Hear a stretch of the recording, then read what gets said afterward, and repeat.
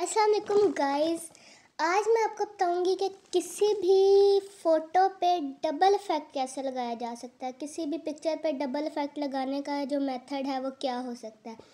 इसके लिए सबसे पहले मैंने फ़ोटोशॉप ओपन की। फ़ोटोशॉप ओपन करने के बाद मैंने यहाँ पे एक पिक्चर ले ली। कोई सी भी पिक्चर जिस पे भी आप डबल इफ़ेक्ट लगाना चाहते हैं, ये मैंने ओपन की थी। ओपन ओपन पे जाके तो जहाँ पे मेरी पिक्चर पड़ी थी, मैंने वहाँ से ओपन कर ली।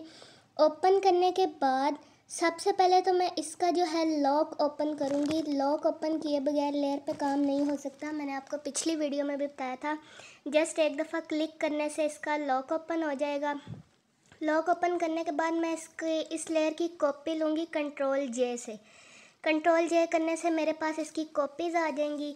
कॉपीज़ आने के बाद मैं लेयर ज़ीरो जो है, मेरे पास पहली लेयर है, उस पर मैं डबल क्लिक करूँगी। डबल क्लिक करने से मेरे पास ये डायलॉग बॉक्स अपेयर होगा। इस डायलॉग बॉक्स से मैं जी चैनल को जो है वो रिमूव करूँगी। यहाँ से जी चैनल को मैं रिमूव कर दूँगी और आर और बी को मैं ऐसे ही रहने दूँगी और ओके कर दूँगी। ओके करने के बाद मैं लेयर ज़ीरो कॉपी जो मेरे पास दूसरी लेयर है, उस पर डबल क्लिक करूँगी। और इस पर डबल क्लिक करने से मैं यहाँ पे आके आर वाले चैनल को रिमूव करूँगी।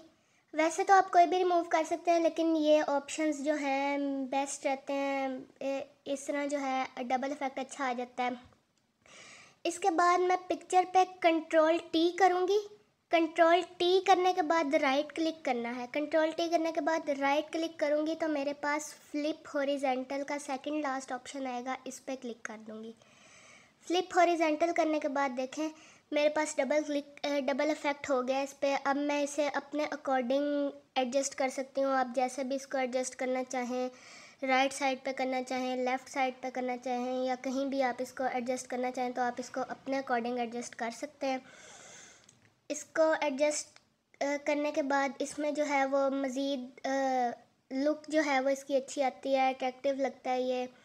इसे अपने अकॉर्डिंग आप जैसे मर्ज़ी एडजस्ट कर लें। मैं अपने अकॉर्डिंग कर रही हूँ, आप अपने अकॉर्डिंग कर सकते हैं। वीडियो पसंद आए तो चैनल को लाइक कर दें सब्सक्राइब कर दें शेयर कर दें और नई इन्फॉर्मेटिव वीडियोस के लिए कमेंट करें। Thank you